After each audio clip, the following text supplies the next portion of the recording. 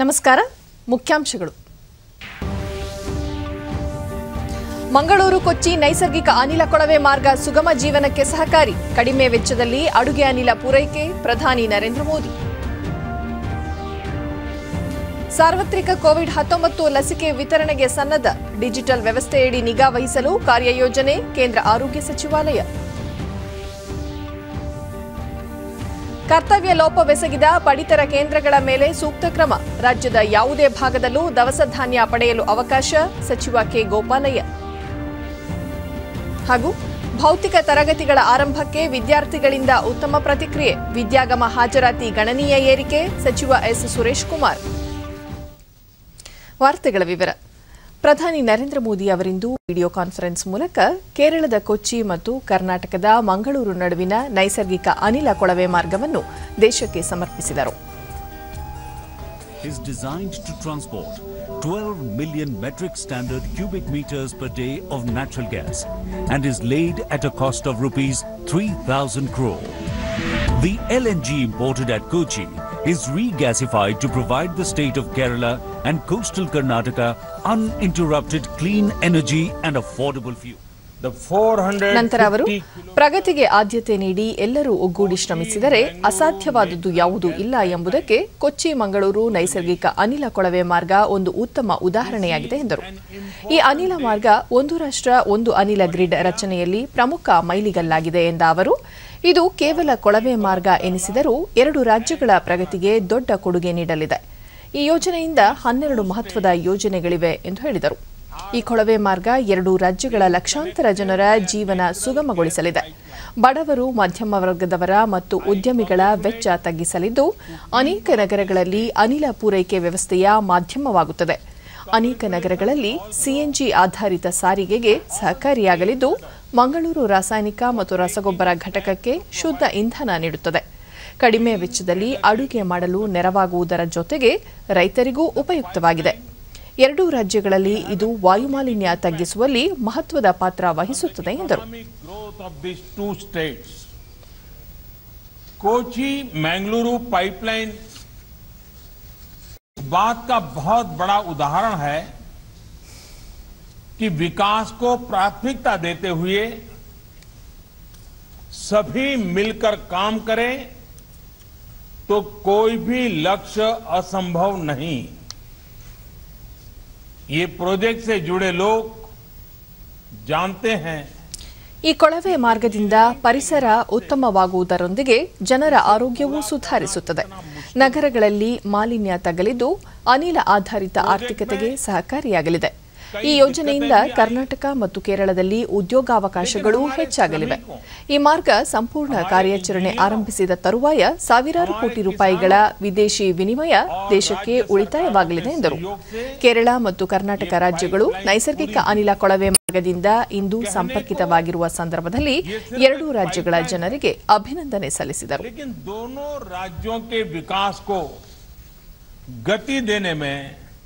इसकी बहुत बड़ी भूमिका होने वाली है Today is a historic day. Honorable Prime Minister. ಇದಕ್ಕೂ ಮುನ್ನ ಪೆಟ್ರೋಲಿಯಂ ಮತ್ತು ನೈಸರ್ಗಿಕ ಅನಿಲ ಖಾತೆ ಸಚಿವ ಧರ್ಮೇಂದ್ರ ಪ್ರಧಾನ್ ನಾನೂರ ಐವತ್ತು ಕಿಲೋಮೀಟರ್ ಉದ್ದದ ಕೇರಳ ಕರ್ನಾಟಕ ಅನಿಲ ಕೊಳವೆ ಮಾರ್ಗ ಲೋಕಾರ್ಪಣೆ ಒಂದು ಐತಿಹಾಸಿಕ ಕ್ಷಣವಾಗಿದೆ ಎಂದರು ಒಟ್ಟು ಮೂರು ಸಾವಿರ ಕೋಟಿ ರೂಪಾಯಿ ವೆಚ್ಚದ ಯೋಜನೆಯ ಕಾಮಗಾರಿ ನಿರ್ಮಾಣವು ಹನ್ನೆರಡು ಲಕ್ಷ ಮಾನವ ದಿನಗಳ ಉದ್ಯೋಗವನ್ನು ಸೃಷ್ಟಿಸಿತು ಎಂದರು Spending of 3,000 crore, this is this day is possible today because Honorable Prime Minister, when he took charge in 2014, from the first week, he started hand-holding this project, lead the project from front due to his uh, tireless effort and unflagged initiatives. Today, the project has uh, seized the light of the day. I am very much uh, uh, grateful and uh, obliged to Honorable Prime Minister for participating and given consent to dedicate this project. The project ಮುಖ್ಯಮಂತ್ರಿ BS Yediyurappa ಯೋಜನೆಯಿಂದ ದಕ್ಷಿಣ ಕನ್ನಡ ಮತ್ತು ಉಡುಪಿ ಜಿಲ್ಲೆಯ ನಾಲ್ಕು ಲಕ್ಷ ಮನೆಗಳಿಗೆ ಅಡುಗೆ ಅನಿಲ ನೇರ ಪೂರೈಕೆಯಾಗಲಿದ್ದು ವಾಣಿಜ್ಯ ಉದ್ದೇಶಕ್ಕೂ ಅನಿಲ ದೊರಕುತ್ತದೆ. ಮುಂದಿನ ದಿನಗಳಲ್ಲಿ ರಾಜ್ಯದ ಪ್ರಮುಖ ನಗರಗಳಲ್ಲಿ ನೈಸರ್ಗಿಕ ಅನಿಲ ಬಳಕೆ ಪ್ರಮಾಣ ಹೆಚ್ಚಲಿದೆ. ಹಲವು ಸವಾಲುಗಳ ನಡುವೆ ಯೋಜನೆಯನ್ನು ಪೂರ್ಣಗೊಳಿಸಿದ ಪ್ರಧಾನಿಯವರ ದೃಢ ಸಂಕಲ್ಪ ಶ್ಲಾಘನೀಯ ಎಂದರು ಈ ಸಂದರ್ಭದಲ್ಲಿ ಕೇಂದ್ರ ಸಚಿವ ಪ್ರಹ್ಲಾದ್ ಜೋಶಿ, ಕರ್ನಾಟಕದ ರಾಜ್ಯಪಾಲ ವಜುಭಾಯ್ ವಾಲಾ, ಕೇರಳ ರಾಜ್ಯಪಾಲ ಅರಿಫ್ ಮೊಹಮ್ಮದ್ ಖಾನ್, ಕೇರಳ ಮುಖ್ಯಮಂತ್ರಿ ಪಿಣರಾಯಿ ವಿಜಯನ್ ಮತ್ತಿತರರು ಉಪಸ್ಥಿತರಿದ್ದರು.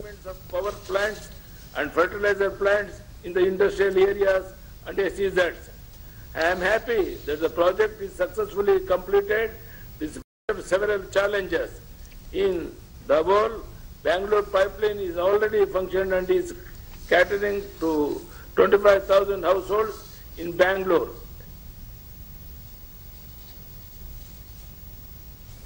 ಲಸಿಕೆಯ ತುರ್ತು ಬಳಕೆಗೆ ಅನುಮೋದನೆ ದೊರೆತ ಹತ್ತು ದಿನಗಳ ಒಳಗಾಗಿ ಲಸಿಕೆ ನೀಡಬಹುದಾಗಿದ್ದು ಕೇಂದ್ರ ಆರೋಗ್ಯ ಮತ್ತು ಕುಟುಂಬ ಕಲ್ಯಾಣ ಸಚಿವಾಲಯ ಕೋವಿಡ್ ಲಸಿಕೆ ನೀಡಿಕೆಗೆ ಸರ್ವಸಿದ್ಧತೆ ಮಾಡಿಕೊಂಡಿದೆ ಎಂದು ಸಚಿವಾಲಯದ ಕಾರ್ಯದರ್ಶಿ ರಾಜೇಶ್ ಭೂಷಣ್ ತಿಳಿಸಿದ್ದಾರೆ.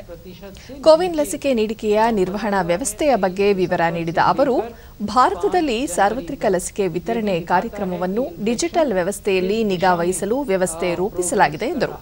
ಕಳೆದ ಸೆಪ್ಟೆಂಬರ್ ಇಪ್ಪತ್ತೊಂದರಂದು ದೇಶದಲ್ಲಿ ಹತ್ತು ಲಕ್ಷಕ್ಕೂ ಅಧಿಕ ಸಕ್ರಿಯ ಕೋವಿಡ್ ಪ್ರಕರಣ ಇದ್ದದ್ದು, ಕ್ರಮೇಣ ಇಳಿಮುಖವಾಗಿ ಪ್ರಸ್ತುತ ಜನವರಿ ಎರಡರಂದು ಎರಡು ಲಕ್ಷ ಐವತ್ತು ಸಾವಿರವಷ್ಟೇ ಆಗಿದೆ. ಈ ಪೈಕಿ ಶೇಕಡ ನಲವತ್ಮೂರು ಪಾಯಿಂಟ್ ತೊಂಬತ್ತು ಆರರಷ್ಟು ಸೋಂಕಿತರು ಆರೋಗ್ಯ ಕೇಂದ್ರಗಳಲ್ಲಿ ಚಿಕಿತ್ಸೆ ಪಡೆಯುತ್ತಿದ್ದರೆ, ಶೇಕಡ ಐವತ್ತಾರು ಪಾಯಿಂಟ್ ಸೊನ್ನೆ ನಾಲ್ಕರಷ್ಟು ರೋಗಿಗಳು ಮನೆಗಳಲ್ಲೇ ಪ್ರತ್ಯೇಕವಾಗಿದ್ದು ಚಿಕಿತ್ಸೆ ಪಡೆಯುತ್ತಿದ್ದಾರೆ ಎಂದು ವಿವರಿಸಿದರು. ಪ್ರತಿ ಹತ್ತು ದಶಲಕ್ಷ ಜನಸಂಖ್ಯೆಗೆ ಹೋಲಿಸಿದರೆ ಸೋಂಕಿನ ಪ್ರಕರಣಗಳ ಸಂಖ್ಯೆ ಭಾರತದಲ್ಲಿ ಅಮೆರಿಕದಲ್ಲಿ ಪ್ರತಿ ಹತ್ತು ಲಕ್ಷ ಜನರಲ್ಲಿ ಅರವತ್ತೊಂದು ಸಾವಿರದ ಇನ್ನೂರ ನಾಲ್ಕು ಜನರು ಸೋಂಕಿತರಾಗಿದ್ದರೆ ಭಾರತದಲ್ಲಿ ಈ ಸಂಖ್ಯೆ ಕೇವಲ ಏಳು ಸಾವಿರದ ಐನೂರ ನಾಲ್ಕು ಎಂದು ವಿವರಿಸಿದರು have declined to less than 2.5 lakhs. अब विश्व के साथ अगर तुलना करें तो केसेस पर मिलियन ऑफ पॉपुलेशन अभी भी we are amongst the lowest in the world 7,504 case per million हमारे यहाँ हैं और अनेक देश ऐसे हैं जहाँ 22,000, 35,000, 40,000, 60,000 से भी ज़्यादा पर मिलियन पॉपुलेशन के केसेस हैं Now the subject expert committee ಭಾರತೀಯ ವೈದ್ಯಕೀಯ guides the ಸಂಶೋಧನಾ ಮಂಡಳಿಯ ಮಹಾನಿರ್ದೇಶಕ ಬಲರಾಮ್ ಭಾರ್ಗವ್ ಪ್ರಸಕ್ತ ಸಾಂಕ್ರಾಮಿಕದ ಸಂದರ್ಭದಲ್ಲಿ ಲಸಿಕೆಗಳ ತುರ್ತು ಬಳಕೆಗೆ ಅವಕಾಶ ಕಲ್ಪಿಸಲಾಗುತ್ತದೆ ಎಂದು ವಿವರಿಸಿದರು One is an inactivated whole virus, and the second is a recombinated vector Uh, vaccine expressing spike protein. The inventors are Bharat Biotech and Indian Council of Medical Research and the Jenner Institute at Oxford University for that. And the licensing rights are Bharat Biotech and AstraZeneca and Serum. Next, please. So now one or two slides about Covishield and one or two slides about Covaxin. So in Covishield, uh, we have the UK studies, which are the animal studies, which have showed that pneumonia is prevented in monkeys and they have elicited good immunity, immune response in mice. ನೀತಿ ಆಯೋಗದ ಸದಸ್ಯ doctor ವಿಕೆ ಪಾಲ್, ವಿಶ್ವದಲ್ಲಿ ಯಾವುದೇ Covid ಲಸಿಕೆಗೆ ನಿಯಮಿತ ಅನುಮೋದನೆ ನೀಡಲಾಗಿಲ್ಲ. ವೈಜ್ಞಾನಿಕ ಮಾನದಂಡಗಳ ಮತ್ತು ಪ್ರಸಕ್ತ ಸಾಂಕ್ರಾಮಿಕದ ಪರಿಸ್ಥಿತಿಗೆ ಅನುಗುಣವಾಗಿ ತುರ್ತು ಅಥವಾ ತ್ವರಿತ ಲಸಿಕೆ ಬಳಕೆಗಷ್ಟೇ ಅನುಮೋದನೆ ನೀಡಲು ಸಾಧ್ಯ ಎಂದು ತಿಳಿಸಿದರು. ಪರಿವರ್ತಿತ ವೈರಾಣುಗಳು ಯಾವುದೇ ಲಸಿಕೆಗೆ ಸವಾಲು ಒಡ್ಡಿಲ್ಲ. ಲಸಿಕೆಗಳು ಉತ್ತಮವಾಗಿ ಕಾರ್ಯನಿರ್ವಹಿಸುತ್ತಿವೆ ಎಂದು ತಿಳಿಸಿದರು. They have examined the data and given us this verdict, which has been accepted by the government of India. Remember what Dr. Bhargav said. He said, these decisions are being made in a context. This is not a regular authorization. No vaccine today in any country has got regular authorization. The world is exercising this option using scientific criteria and scientific thinking and consensus to take decisions in the larger interest of public health and humanity. And therefore, those boundaries are crafted, explained, and within which you operate. ಈಗ ಜಾಹೀರಾತು ನಂತರ ವಾರ್ತಾ ಪ್ರಸಾರ ಮುಂದುವರಿಯಲಿದೆ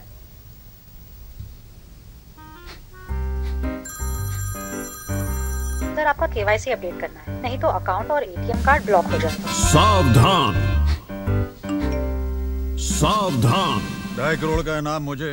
देखिए अनजाने calls फर्जी emails links और जाली ऐप से अपना पिन ओटीपी पासवर्ड कभी भी किसी के साथ शेयर न करें। आप रहेंगे सावधान तो नहीं होगा नुकसान।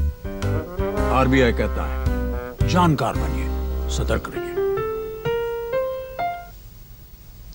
ವಿಧಾನ ಪರಿಷತ್ನ ಗದ್ದಲಕ್ಕೆ ಸಂಬಂಧಿಸಿದಂತೆ ಸಭಾಪತಿಗಳು ಆದೇಶಿಸಿರುವ ತನಿಖೆಯು ಅಧಿಕಾರಿಗಳ ಕರ್ತವ್ಯ ಲೋಪಕ್ಕಷ್ಟೇ ಸೀಮಿತ ಎಂದು ಕಾನೂನು ಮತ್ತು ಸಂಸದೀಯ ವ್ಯವಹಾರಗಳ ಸಚಿವ ಜೆಸಿ ಮಾಧುಸ್ವಾಮಿ ಕಲಬುರಗಿಯಲ್ಲಿಂದು ಹೇಳಿದ್ದಾರೆ.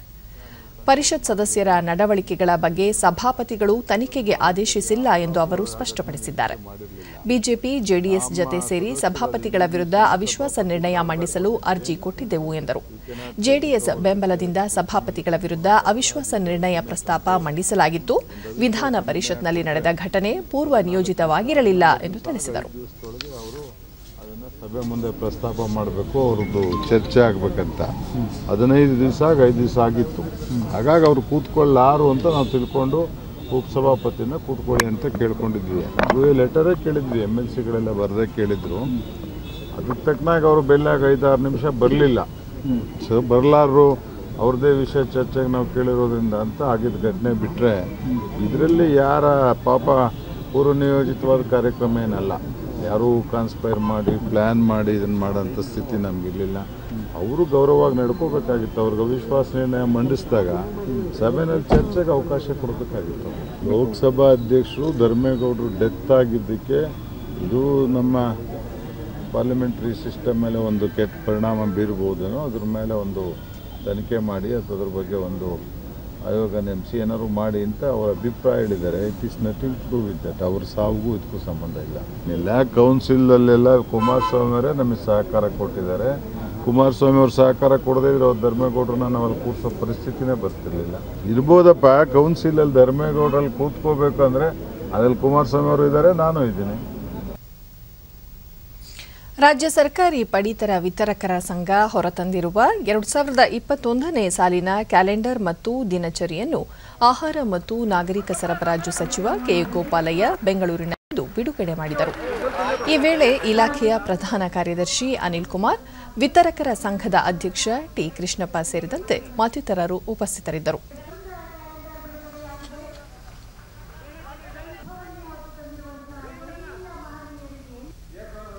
ಬಳಿಕ ಗೋಪಾಲಯ್ಯ ಕೋವಿಡ್ ಸೋಂಕಿನ ಸಮಯದಲ್ಲಿ ಪಡಿತರ ವಿತರಕರ ಸಂಘ ರಾಜ್ಯಾದ್ಯಂತ ಉತ್ತಮ ಕೆಲಸ ಮಾಡಿದೆ ಕರ್ತವ್ಯ ಲೋಪವೆಸಗಿದ ಹಲವು ಪಡಿತರ ಕೇಂದ್ರಗಳ ಮೇಲೆ ಕ್ರಮ ಕೈಗೊಳ್ಳಲಾಗಿದೆ ಇದು ಅನಿವಾರ್ಯವೂ ಸಹ ಆಗಿದೆ ಎಂದು ಹೇಳಿದರು ಪಡಿತರದಾರರು ರಾಜ್ಯದ ಯಾವುದೇ ಭಾಗದಲ್ಲಿ ಪಡಿತರ ಪಡೆಯಲು ಅವಕಾಶ ಮಾಡಿಕೊಟ್ಟಿರುವ ಹಿನ್ನೆಲೆಯಲ್ಲಿ ಪಡಿತರ ಅಂಗಡಿ ವಿತರಕರು ತಿರಸ್ಕರಿಸಲು ಅವಕಾಶವಿಲ್ಲ ಎಂದು ಹೇಳಿದರು ಬಟ್ ನನ್ನ ಫೋನ್ ಏನಿದೆ ಈಗಾಗಲೇ ಒಂದು ಹತ್ತೈದು ಫೋನ್ ಬಂದಿದೆ ಇವ್ರು ಕೂತ್ಕೊಂಡಾದ್ಮೇಲೆ ತನಗೆ ಯಾವ್ದಾದ್ರು ಮಿಸ್ಟೇಕ್ ಬಂದಿದೆ ಆ ಹತ್ತಿರ ಮತ್ತೆ ಫೋನ್ ಮಾಡ್ತೇನೆ. ಅನೇಕ ಅಂಗಡಿಗಳಲ್ಲಿ ಬಟ್ ಇವತ್ತು ಒಂದು ದೇಶ, ಒಂದು ರೇಷನ್ ಕಾರ್ಡ್ ಅಂತ ಮುಖ್ಯನಾಗಿದೆ ಆ ಸಂದರ್ಭದಲ್ಲಿ ಒಂದು ಹತ್ತೈದು ಅಂಗಡಿ ನಾನೇ ಸಸ್ಪೆಂಡ್ ಮಾಡಿದ್ದೇನೆ. ಶಾಮರಾಜನಗರದಿಂದ ಬಂದಿರತಕ್ಕಂಥ ಕುಟುಂಬ. ನನ್ನ ಸುತ್ತಮುತ್ತಲಿರ್ತಕ್ಕಂಥ ಒಂದು ಅಂಗಡಿಗೆ ಹೋದ ಸುಮಾರು ಎರಡು ದಿನ ಮೂರು ದಿನ ಹೋದಕ್ಕೆ ಕೊಡಲಿಲ್ಲ. ತಕ್ಷಣ ಅಧಿಕಾರಿಗಳ ಕರೆಸಿ ಅವ್ರ ಅರ್ಜಿನೂ ಕೊಡಬೇಕು ಅವರ ಅವ್ರ ಮೇಲೆ ಕ್ರಮ ತಗೊಳ್ಬೇಕು ಅಂತಕ್ಕಂಥದ್ದು ರೀತಿ- ಅನಿಲ್ ಕುಮಾರ್ ಪಡಿತರ ವಿತರಕರಿಗೆ ಆಯಾ ತಿಂಗಳೇ ಕಮಿಷನ್ ಬರುವಂತೆ ನೋಡಿಕೊಳ್ಳಲಾಗುವುದು ಎಂದು ತಿಳಿಸಿದರು.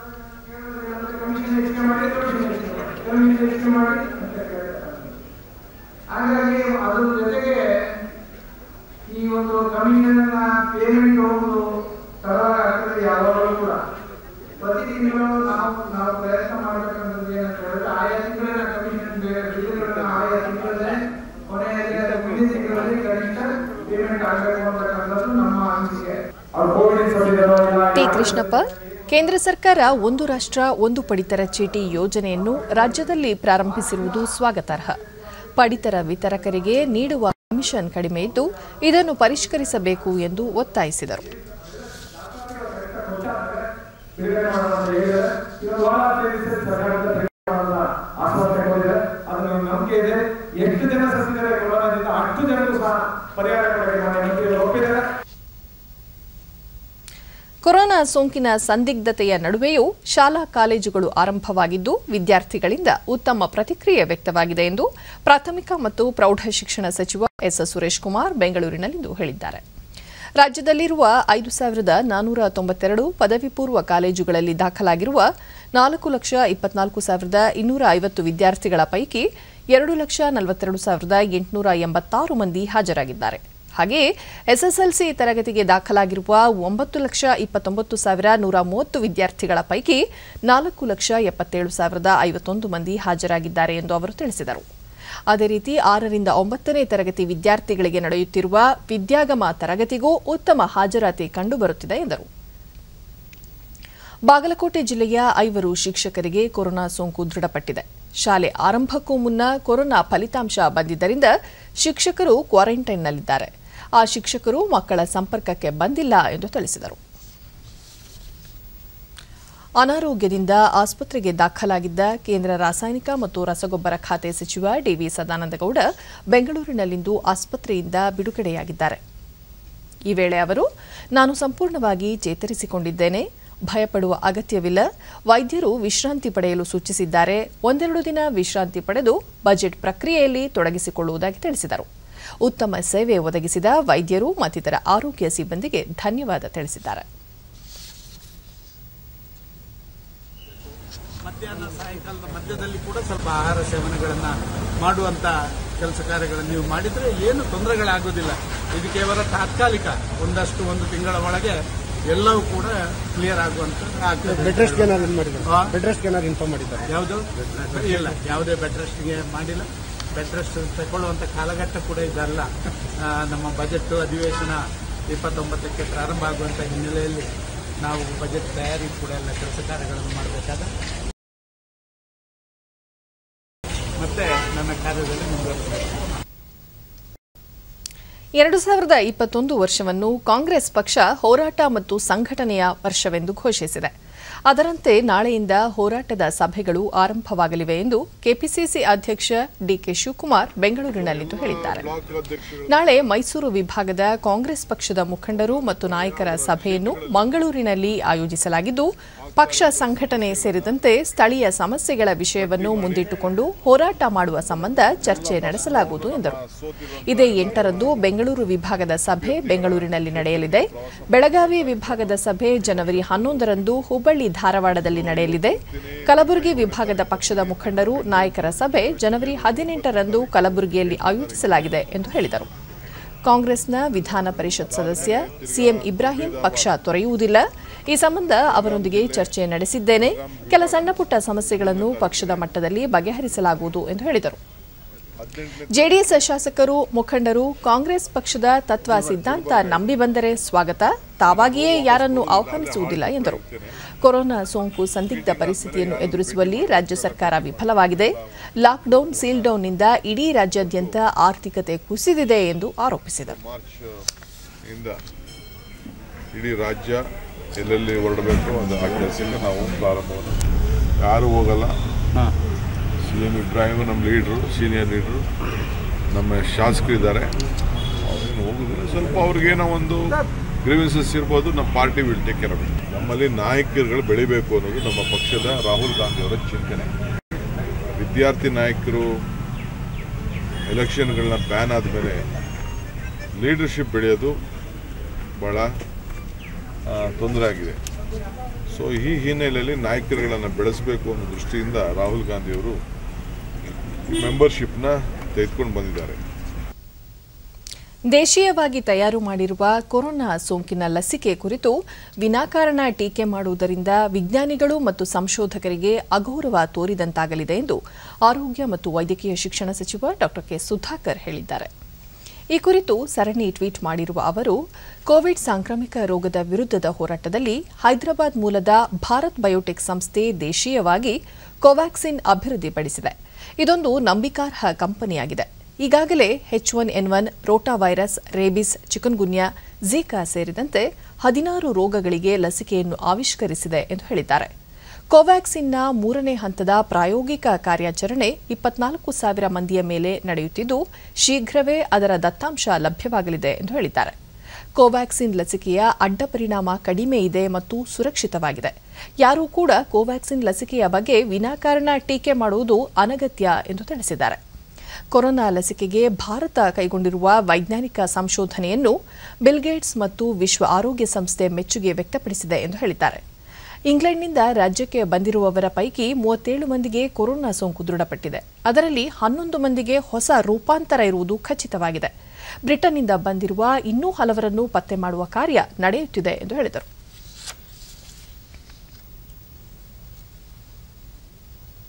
ಈಗ ಜಾಹೀರಾತು, ನಂತರ ವಾರ್ತಾ ಪ್ರಸಾರ ಮುಂದುವರಿಯಲಿದೆ.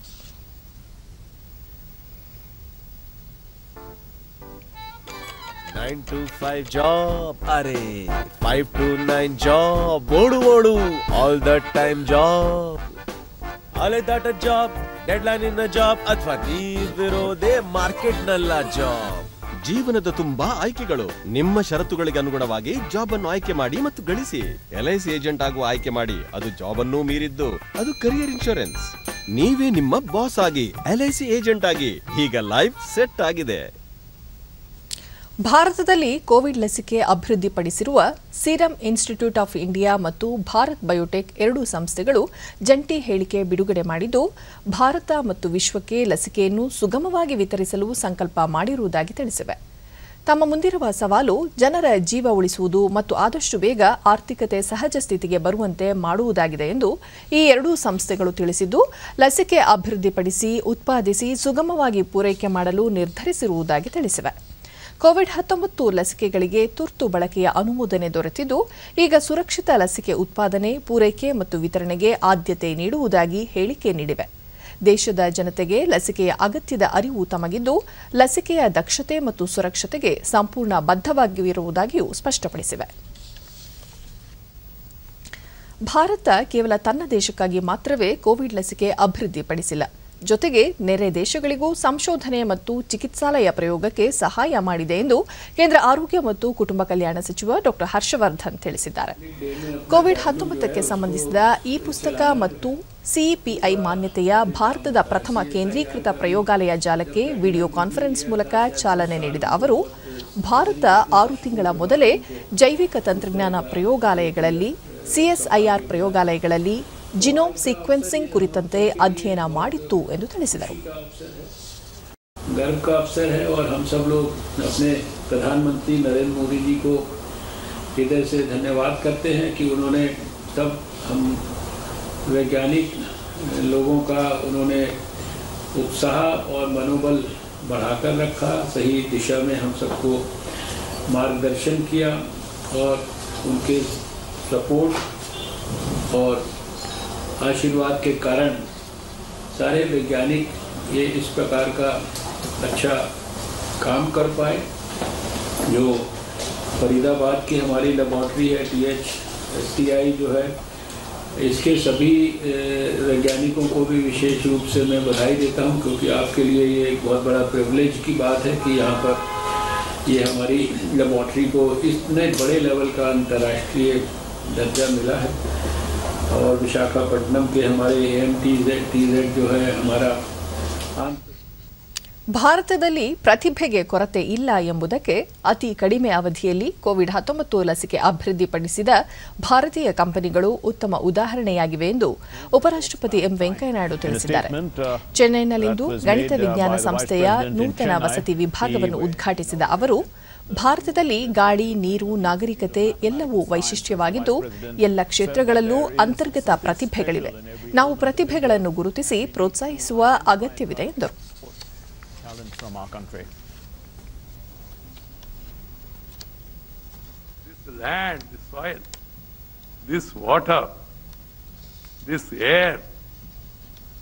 This civilization has something special. There is inherent knowledge. What you need to do is identify, encourage, and promote. Then you will. That's how it explains about uh, the Indian companies coming out with this vaccination in such a, such a short span of time. Supreme ಕೋರ್ಟ್ನ ತ್ರಿಸದಸ್ಯ ಪೀಠ ಇಂದು central Vista ಯೋಜನೆ ಮರು ಅಭಿವೃದ್ಧಿಗೆ ಹಸಿರು ನಿಶಾನೆ ತೋರಿ ಮಹತ್ವದ ತೀರ್ಪು ನೀಡಿದೆ ನೂತನ ಸಂಸತ್ ಭವನ ನಿರ್ಮಿಸುವ ಮತ್ತು ಸೆಂಟ್ರಲ್ ವಿಸ್ಟಾ ಮರು ಅಭಿವೃದ್ಧಿ ಯೋಜನೆಗೆ ಸರ್ವೋನ್ನತ ನ್ಯಾಯಾಲಯ ತನ್ನ ಸಮ್ಮತಿ ಸೂಚಿಸಿ ತೀರ್ಪು ನೀಡಿದ್ದು, ದೆಹಲಿ ಅಭಿವೃದ್ಧಿ ಪ್ರಾಧಿಕಾರದ ಕಾಯ್ದೆಯನ್ವಯ ಅಧಿಕಾರ ಚಲಾಯಿಸುವುದು ಮಾನ್ಯವಾಗಿದೆ ಮತ್ತು ಪರಿಸರ ಸಚಿವಾಲಯದ ಅನುಮತಿಯ ಶಿಫಾರಸುಗಳು ಕಾನೂನುಬದ್ಧವಾಗಿವೆ ಎಂದು ತಿಳಿಸಿದೆ. ನ್ಯಾಯಮೂರ್ತಿಗಳಾದ ದಿನೇಶ್ ಮಹೇಶ್ವರ್, ಎಎಂ ಕನ್ವಿಲ್ಕರ್ ಮತ್ತು ಸಂಜೀವ್ ಖನ್ನಾ ಅವರನ್ನೊಳಗೊಂಡ ಪೀಠ ಇಬ್ಬರು ನ್ಯಾಯಾಧೀಶರ ಅಭಿಪ್ರಾಯದಂತೆ ಈ ತೀರ್ಪು ಪ್ರಕಟಿಸಿದೆ. ಕಟ್ಟಡ ನಿರ್ಮಾಣ ಕಾಮಗಾರಿ ಆರಂಭವಾಗುವಾಗ ಪಾರಂಪರಿಕ ಸಂರಕ್ಷಣೆ ಸಮಿತಿಯ ಅನುಮೋದನೆ ಅಗತ್ಯ ಎಂದು ಸರ್ವೋನ್ನತ ನ್ಯಾಯಾಲಯ ತಿಳಿಸಿದೆ. ಸೆಂಟ್ರಲ್ ವಿಸ್ಟಾ ಯೋಜನೆ ವಿರುದ್ಧದ ತಕರಾರುಗಳನ್ನು ಸರ್ವೋನ್ನತ ನ್ಯಾಯಾಲಯ ತಳ್ಳಿಹಾಕಿದ್ದು, ನ್ಯಾಯಾಲಯ ಕಳೆದ ತಿಂಗಳು ನೂತನ ಸಂಸತ್ ಭವನಕ್ಕೆ ಭೂಮಿ ಪೂಜೆ ನೆರವೇರಿಸಲು ಅನುಮೋದನೆ ನೀಡಿತ್ತು. ಯುನೈಟೆಡ್ ಕಿಂಗ್ಡಮ್ ಪ್ರಧಾನಮಂತ್ರಿ ಬೋರಿಸ್ ಜಾನ್ಸನ್ ತಮ್ಮ ಭಾರತ ಭೇಟಿಯನ್ನು ರದ್ದುಪಡಿಸಿದ್ದಾರೆ. ಬ್ರಿಟನ್ನಲ್ಲಿ ಹೊಸ ರೂಪದ ಕೊರೋನಾ ವೈರಾಣು ಬಾಧಿಸುತ್ತಿರುವ ಹಿನ್ನೆಲೆಯಲ್ಲಿ ತಮ್ಮ ಪ್ರವಾಸ ರದ್ದುಪಡಿಸುತ್ತಿರುವುದಾಗಿ ಅವರು ಪ್ರಧಾನಿ ನರೇಂದ್ರ ಮೋದಿ ಅವರಿಗೆ ದೂರವಾಣಿ ಕರೆ ಮಾಡಿ ವಿಷಾದ ವ್ಯಕ್ತಪಡಿಸಿದ್ದಾರೆ ಎಂದು ಮೂಲಗಳು ವರದಿ ಮಾಡಿವೆ.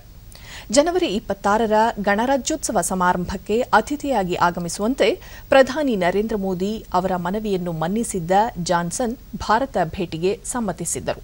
ಆದರೆ ಬದಲಾದ ಪರಿಸ್ಥಿತಿಯಲ್ಲಿ ಅವರ ಪ್ರವಾಸ ರದ್ದಾಗಿದೆ ಎನ್ನಲಾಗಿದೆ. ಕೇಂದ್ರ ಜವಳಿ, ಮಹಿಳಾ ಮತ್ತು ಮಕ್ಕಳ ಅಭಿವೃದ್ಧಿ ಸಚಿವೆ ಸ್ಮೃತಿ ಇರಾನಿ ಮತ್ತು ಶಿಕ್ಷಣ ಸಚಿವ ರಮೇಶ್ ಪೋಖ್ರಿಯಾಲ್ ನಿಶಾಂಕ್ ಅವರಿಂದು ಆಟಿಕೆಗಳ ಹ್ಯಾಕಥಾನ್ಗೆ ಜಂಟಿಯಾಗಿ ಚಾಲನೆ ನೀಡಿದರು. ನಂತರ ಸ್ಮೃತಿ ಇರಾನಿ, ನೂರು ಶತಕೋಟಿ ಡಾಲರ್ ಅಂತಾರಾಷ್ಟೀಯ ಆಟಿಕೆಯ ಮಾರುಕಟ್ಟೆ ಇದ್ದು, ಭಾರತದ ದೇಶೀಯ ಮಾರುಕಟ್ಟೆ ಪಾಲು ಒಂದು ಪಾಯಿಂಟ್ ಐದು ಶತಕೋಟಿ ಡಾಲರ್ ಆಗಿದೆ ನಾವು ವಾರ್ಷಿಕ ಶೇಕಡ ಹದಿನೈದರ ದರದಲ್ಲಿ ಈ ಕ್ಷೇತ್ರದಲ್ಲಿ ವೃದ್ಧಿ ಸಾಧಿಸುತ್ತಿದ್ದೇವೆ ಎಂದರು ಶಿಕ್ಷಣ ಸಚಿವಾಲಯದೊಂದಿಗೆ ಆತ್ಮನಿರ್ಭರ ಭಾರತ ಅವರು ತಿಳಿಸಿದರು positive fruits and results for our industry in all schools, colleges, universities, so that they can answer this clarion call of Atmanirbhar Bharat. My compliments to the team of the Innovation Cell and to AICT chairperson who is amongst us today. And I'm hopeful that along with innovative ideas for the industry, students can also bring forth new ideas for old handcrafted toy clusters, of which eight toy clusters today enjoy GI certification. Ramesh Pokhriyal Nishank ಪ್ರಧಾನಿಯವರ ಇಪ್ಪತ್ತೊಂದನೇ ಶತಮಾನದ ಸುವರ್ಣ ಭಾರತದ ಕಲ್ಪನೆಯ ಸಾಕಾರಕ್ಕೆ ಎಲ್ಲರೂ ಕೈಜೋಡಿಸಬೇಕಾಗಿದೆ ಹೀಗಾಗಿ ವಿದ್ಯಾರ್ಥಿಗಳಿಗೆ ಹೊಸ board ಗೇಮ್ಗಳು ಹೊರಾಂಗಣ ಕ್ರೀಡೆಗಳು ಡಿಜಿಟಲ್ ಕ್ರೀಡೆಗಳನ್ನು ಅಭಿವೃದ್ಧಿಪಡಿಸಲು ಆಹ್ವಾನಿಸಲಾಗಿದೆ ಎಂದರು ಪ್ರಧಾನಿ ನರೇಂದ್ರ ಮೋದಿ ಅವರು ನಮ್ಮ ಆಟಿಕೆಗಳ ಮಾರುಕಟ್ಟೆಗೆ ಅಪಾರ ಸಾಮರ್ಥ್ಯವಿದೆ ಎಂದು ನಂಬಿದ್ದಾರೆ ಹೀಗಾಗಿ ಈ ಕ್ಷೇತ್ರದಲ್ಲಿ ವಿದ್ಯಾರ್ಥಿಗಳು ಮಹತ್ವದ ಪಾತ್ರ ನಿರ್ವಹಿಸಬಹುದು ಎಂದರು ये खिलौना कितना इस देश में आता है और कितना बड़ा मार्केट पूरी दुनिया का है सात लाख करोड़ का मार्केट हो पूरी दुनिया में खिलौने का और अभी हमारे देश में जो दुनिया का सब ಇನ್ನು ಹವಾವರ್ತಮಾನ ರಾಜ್ಯದ ಕರಾವಳಿಯ ಬಹುತೇಕ ಕಡೆ ಮತ್ತು ಉತ್ತರ ಒಳನಾಡಿನ ಅಲ್ಲಲ್ಲಿ ಚದುರಿದಂತೆ ಮಳೆಯಾಗಿದೆ ಕಿರವಟ್ಟಿ ಹಳಿಯಾಳ ಮೂರು ಮಂಚಿಕೆರೆ ಬೈಲಹೊಂಗಲ ಹುಂಚದಕಟ್ಟೆ ಶಿವಮೊಗ್ಗ ಎರಡು ಕಲಘಟಕಿ ಕಳಸ ಸಾಗರದಲ್ಲಿ ಒಂದು ಸೆಂಟಿಮೀಟರ್ ಮಳೆಯಾಗಿದೆ ಬೀದರ್ನಲ್ಲಿ ಕನಿಷ್ಠ ತಾಪಮಾನ ಹದಿಮೂರು ಪಾಯಿಂಟ್ ನಾಲ್ಕು ಡಿಗ್ರಿ ಸೆಲ್ಸಿಯಸ್ ದಾಖಲಾಗಿದೆ ಮುನ್ಸೂಚನೆಯಂತೆ ಮುಂದಿನ ಇಪ್ಪತ್ನಾಲ್ಕು ಗಂಟೆಗಳಲ್ಲಿ ಕರಾವಳಿಯ ಕೆಲ ಪ್ರದೇಶ ಹಾಗೂ ದಕ್ಷಿಣ ಮತ್ತು ಉತ್ತರ ಒಳನಾಡಿನ ಅಲ್ಲಲ್ಲಿ ಮಳೆಯಾಗುವ ಸಾಧ್ಯತೆ. ಬೆಂಗಳೂರು ಸುತ್ತಮುತ್ತ ಸಾಮಾನ್ಯವಾಗಿ ಮೋಡ ಕವಿದ ವಾತಾವರಣ ಹಗುರ ಮಳೆ ಸಾಧ್ಯತೆ. ಬೆಳಗಿನ ವೇಳೆ ಕೆಲವೆಡೆ ಮಂಜು ಮುಸುಕುವ ಸಾಧ್ಯತೆ. ಗರಿಷ್ಠ ತಾಪಮಾನ ಇಪ್ಪತ್ತೇಳು ಹಾಗೂ ಕನಿಷ್ಠ ಹದಿನೆಂಟು ಡಿಗ್ರಿ ಸೆಲ್ಸಿಯಸ್ ದಾಖಲಾಗುವ ಸಂಭವ. ಕೊನೆಯಲ್ಲಿ ಮತ್ತೊಮ್ಮೆ ಮುಖ್ಯಾಂಶಗಳು. ಮಂಗಳೂರು, ಕೊಚ್ಚಿ ನೈಸರ್ಗಿಕ ಅನಿಲ ಕೊಳವೆ ಮಾರ್ಗ ಸುಗಮ ಜೀವನಕ್ಕೆ ಸಹಕಾರಿ. ಕಡಿಮೆ ವೆಚ್ಚದಲ್ಲಿ ಅಡುಗೆ ಅನಿಲ ಪೂರೈಕೆ ಪ್ರಧಾನಿ ನರೇಂದ್ರ ಮೋದಿ. ಸಾರ್ವತ್ರಿಕ ಕೋವಿಡ್ ಹತ್ತೊಂಬತ್ತು ಲಸಿಕೆ ವಿತರಣೆಗೆ ಸನ್ನದ್ಧ ಡಿಜಿಟಲ್ ವ್ಯವಸ್ಥೆಯಡಿ ನಿಗಾ ವಹಿಸಲು ಕಾರ್ಯಯೋಜನೆ, ಕೇಂದ್ರ ಆರೋಗ್ಯ ಸಚಿವಾಲಯ. ಕರ್ತವ್ಯ ಲೋಪವೆಸಗಿದ ಪಡಿತರ ಕೇಂದ್ರಗಳ ಮೇಲೆ ಸೂಕ್ತ ಕ್ರಮ. ರಾಜ್ಯದ ಯಾವುದೇ ಭಾಗದಲ್ಲೂ ದವಸ ಧಾನ್ಯ ಪಡೆಯಲು ಅವಕಾಶ, ಸಚಿವ ಕೆ ಗೋಪಾಲಯ್ಯ. ಹಾಗೂ ಭೌತಿಕ ತರಗತಿಗಳ ಆರಂಭಕ್ಕೆ ವಿದ್ಯಾರ್ಥಿಗಳಿಂದ ಉತ್ತಮ ಪ್ರತಿಕ್ರಿಯೆ. ವಿದ್ಯಾಗಮ ಹಾಜರಾತಿ ಗಣನೀಯ ಏರಿಕೆ, ಸಚಿವ ಎಸ್ ಸುರೇಶ್ ಕುಮಾರ್. ನಮ್ಮ ವಾರ್ತಾ ಪ್ರಸಾರವನ್ನು ನೀವು ಡಿಡಿ ಚಂದನ ನ್ಯೂಸ್ ಯೂಟ್ಯೂಬ್ ಚಾನೆಲ್ನಲ್ಲೂ ವೀಕ್ಷಿಸಬಹುದು. ವೀಕ್ಷಕರೇ, ತಪ್ಪದೆ ಮಾಸ್ಕ್ ಧರಿಸಿ. ನೀವು ಸುರಕ್ಷಿತವಾಗಿರುವುದರೊಂದಿಗೆ ನಿಮ್ಮವರನ್ನು ಸುರಕ್ಷಿತವಾಗಿರಿಸಿ. ಸರಿಯಾದ ಕ್ರಮದಲ್ಲಿ ಮುಖಗವಸನ್ನು ತಪ್ಪದೆ ಧರಿಸಿ. ನಮ್ಮ ಮುಂದಿನ ವಾರ್ತಾ ಪ್ರಸಾರ ರಾತ್ರಿ ಒಂಬತ್ತು ಗಂಟೆಗೆ ಡಿಡಿ ಚಂದನದಲ್ಲಿ. ನಮಸ್ಕಾರ.